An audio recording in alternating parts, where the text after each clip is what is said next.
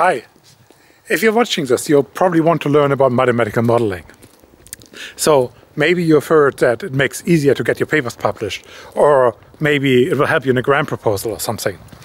So let's talk about this. How do we actually model?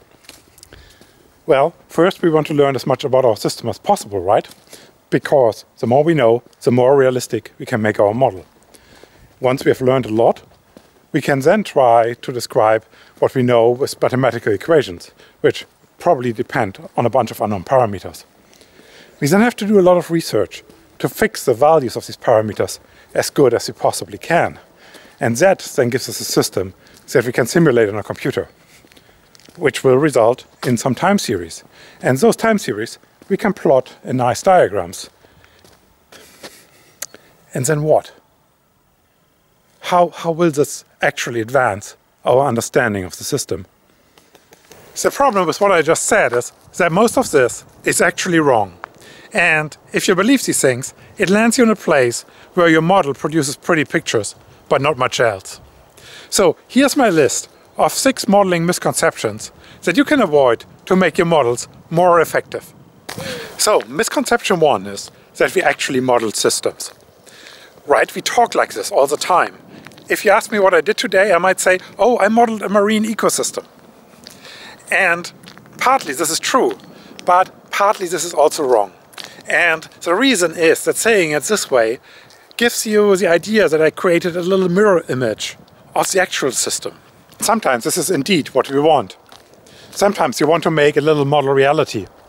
This is the case, for example, if you're developing a computer game or if you're modeling systems that you know really, really well and you want to forecast precisely, like we do in the weather system. But the fact is, if you're a game developer or you make the weather forecast, then you hardly need this video.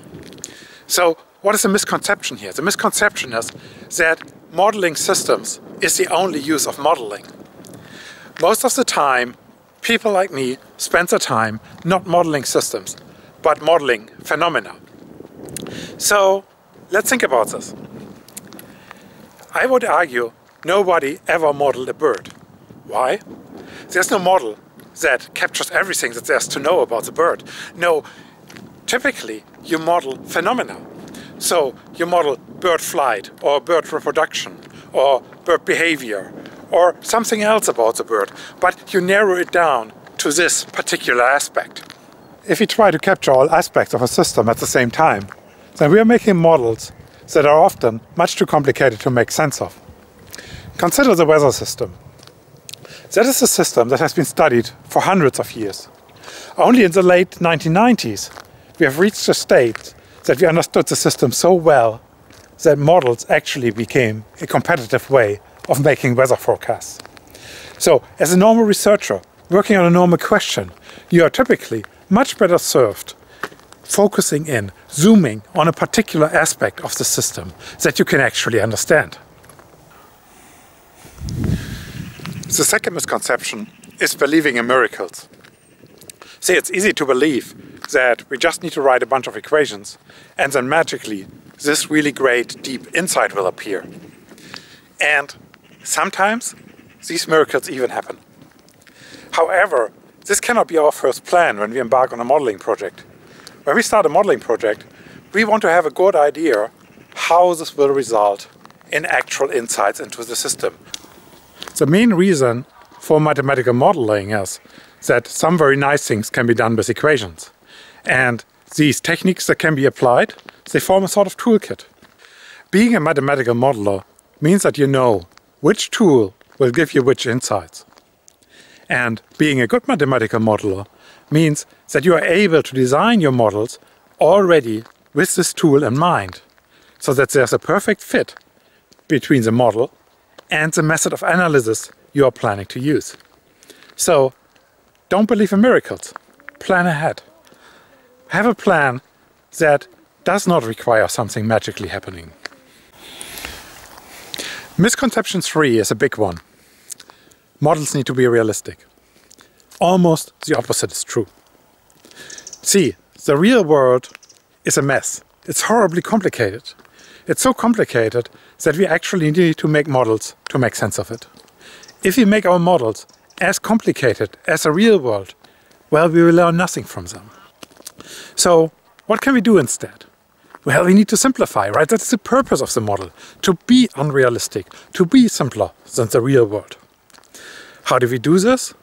Well, a good way is to start with a model that is as simple as you can possibly make it. Because the model is so simple, the analysis will be really quick. And what will this analysis show? Well, it will show that the model fails to describe reality. That is not a problem. In fact, this is actually great. Because by analyzing the failure, we can then understand how to improve the model. This leads us to a slightly better model. And the slightly better model, well, is still easy to analyze. First, because it's still a very simple model, but second, we already have experience from our first analysis.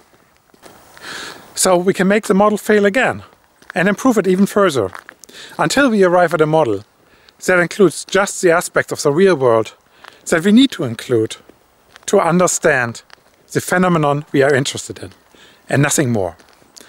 We are not going to make a model that is true. No, we are going to make a model that is wrong, but a model that is wrong in exactly the right way. Misconception 4 is a quick one. It's a misconception that modeling requires computers. See, the point of building simple models is that you can actually solve these models mathematically. And this mathematical analysis will give you much deeper insights than a simulation. Computers can still sometimes be useful when you get stuck with a math. But like believing in miracles, this shouldn't be our first option.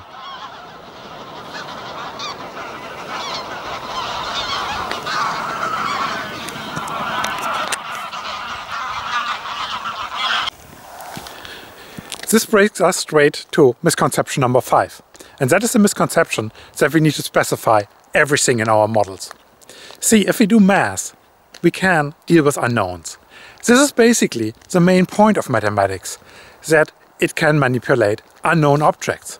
Everything we can do to an equation, we can also do to an equation that has unknown variables in it, and even unknown functions. We can take unknown objects and carry them with us through our whole calculation until we get the result. And then once we have the result, well, if we wanted, we could still plug specific values in or something. However, we don't have to do the calculation again because we already have the result. This is almost like we did it in infinite times, in parallel, with all possible values of our unknown quantities. This is really the true power of mathematics, that it's infinitely parallel. So don't waste too much time searching for values in the literature. Rather start your modeling quickly. And once you have the result, then is the time to compare to the literature. We have arrived at our destination, the final and most important misconception number six. And this misconception is that your models are somehow bad or wrong or unrealistic. The reason why people find mathematical modeling difficult is that it requires a somewhat different skill set than other branches of mathematics or science. The most important skills for modeling are confidence and courage. Because if you make a model, it will invariably seem a very simple effort to you. It might be hard while you do it, but once you have the result, you would think, hey, why was it so difficult? How was I struggling with this? This seems so easy now. But still, you have to trust in what you do. You have to have confidence. And if your model gives you trouble, you have to stick with it. And in the end, when you reach a conclusion, you have to really trust these conclusions. If you have made a model and analyzed it to its end, you have created something beautiful and it has value. So trust it, believe it, fight for it. Wow, it's really cold today here, so I am heading home. But I hope you enjoyed this video, and if you did, leave it a like. And actually, if I piqued your interest and you want to see how these things actually work in practice, how these thoughts and ideas can be applied, well, why not subscribe? I'm going to put out some more videos over the next couple of weeks to illustrate how these ideas are actually put into practice in real projects.